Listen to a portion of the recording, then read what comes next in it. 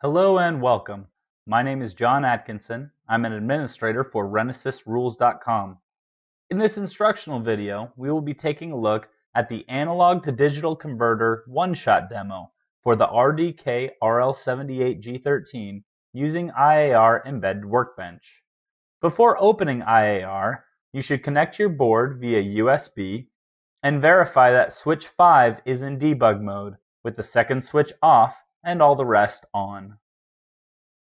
Let's open IAR Embedded Workbench from the Start menu. Start, All Programs, IAR Systems, IAR Embedded Workbench for Renesas RL78, and IAR Embedded Workbench.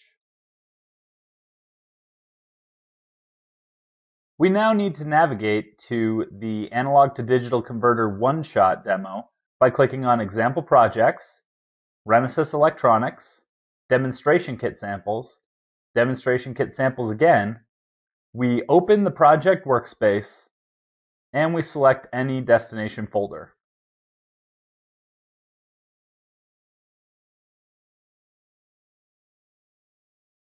To build the ADC one-shot demo, right-click on ADC one-shot and select Rebuild All.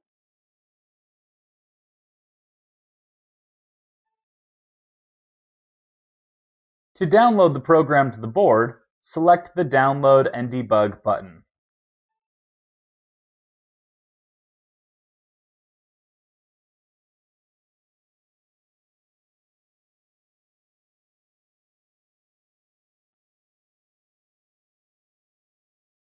The program is currently paused.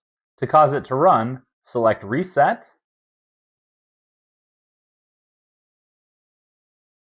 and then click Go.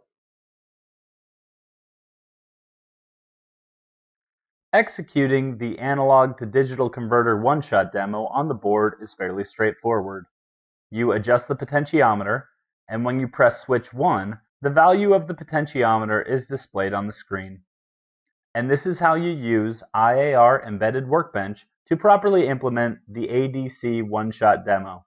If you have any further questions, please feel free to visit us at renesasrulz.com and be sure to check out these other great links.